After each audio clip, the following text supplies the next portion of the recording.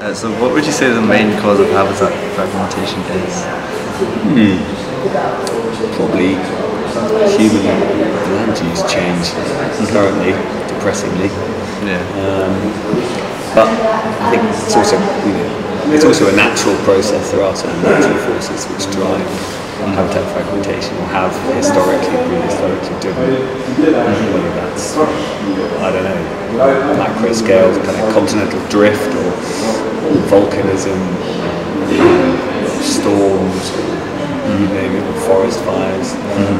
So it is. I think it's, it's a fairly natural process, but just accelerated by So the main cause of habitat fragmentation, at least in the Alps, basically it's, I mean, it's um, in all the cases is like uh, human driven.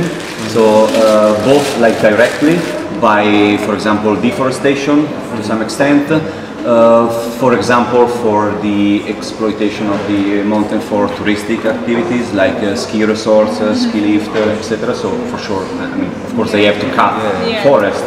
So that leads to high uh, habitat fragmentation for some species. On the other hand, actually, I mean, the increase uh, of the habitat fragmentation could, uh, to some extent, increase uh, like those uh, environments of ecotones.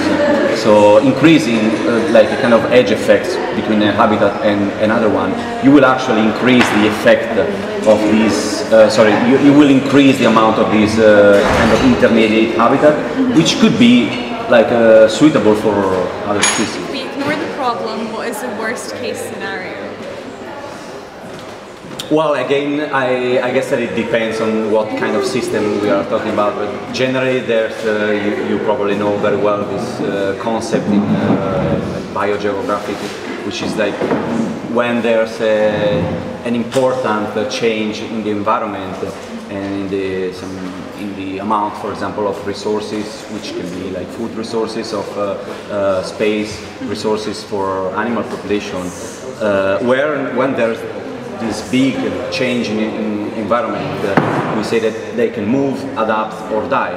So they can move if they have the possibility to to move and to find for some other uh, space in which they have the same uh, amount of resources that can allow the, to, to maintain and to sustain a mi- minimum viable population. They can adapt if the change is long enough to, I mean, if the time scale is long enough to allow, from kind of evolutionary point of view, to allow the population to, to cope with this modification. And of course, the worst case uh, scenario is to go to extinction.